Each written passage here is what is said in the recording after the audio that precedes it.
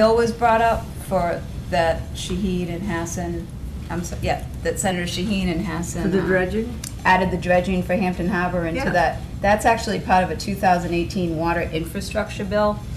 And it got approved last week. And the reason why I'm bringing it up is because we just had one of our final meetings for the Seacoast Long-Term Goals and Objectives on quality drinking water. And I, after reading through the bill, there is a lot of it that I think is gonna umbrella how all this contamination, source, supply, you know, Oh. infrastructure, everything that currently exists with what we have going on. Huh. It looks like it's being addressed, a lot of it by the federal government and a certain part of the bill. So I've outlined that. Um, I've let Mindi Messmer know about it.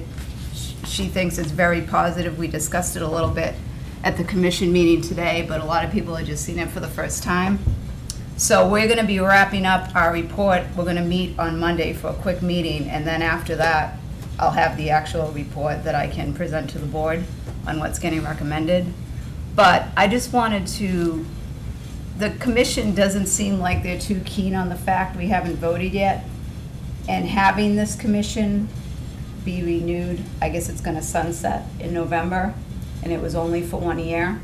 So I was just asking, well, I'm gonna recommend it anyway as an individual, but I would like the whole board support that when we decide how it's gonna be addressed in the future, that even though Representative Messmer, Messmer is not probably gonna be a represent, a representative anymore, that she could, the board of, the town of Hampton would recommend that she stay in process, involved in this process, Yeah. because she really has been key, like, that federal bill says things that she's been talking about the whole time. Yeah. So I would really like to make sure that she is continued through this Now, her process. town could put her on, right? Yeah, well, that, that is the way we could do Well, it, yes. Except that the commission sunsets next Right, month. we don't know what they're gonna do, whether we're gonna just, you maybe do something with RPC or the Southeast Watershed Alliance, or have another commission set up. But I just wanna make sure that even if she's not an elected official, Mm. and, you know, Rye,